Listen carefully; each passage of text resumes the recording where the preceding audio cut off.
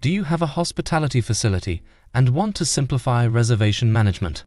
Learn more about the system for managing electronic locks with time-based codes and cards for access. Here are the types of locks you can automate. Slim electronic lock, full plate lock, wall-mounted reader, electronic cylinder.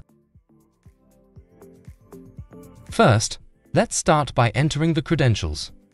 Enter user, Hotel Del Rose, empty password.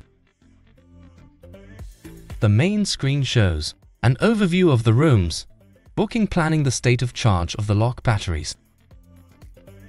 By clicking on a room, you access the various functions. Remote opening creation of time codes and cards associated with the room. Plus, you can delete previous codes, send them via email or WhatsApp e-consult the information on the reservation and also the history of openings. From planning, we start the creation of RFID codes and cards. The codes are First login with Energy Saver, Permanent, In Time, Passapartout, and Cyclicals.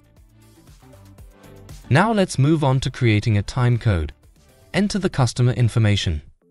Email, telephone number, bail, total cost of the stay, and any additional notes. Next, we select the duration of the customer's stay by choosing the arrival date and departure date in the designated calendar.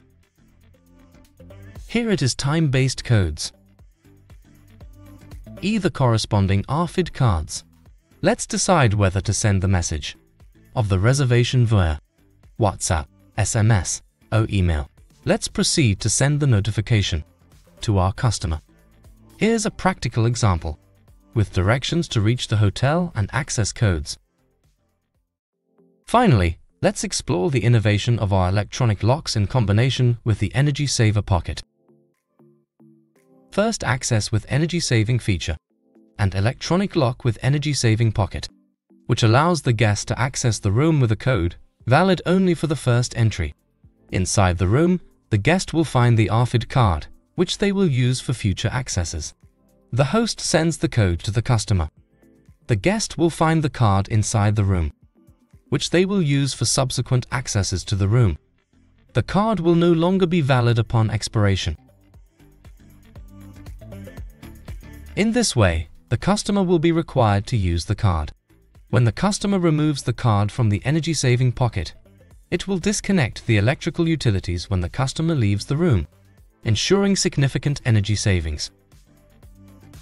Do you have a hospitality facility and want to simplify reservation management?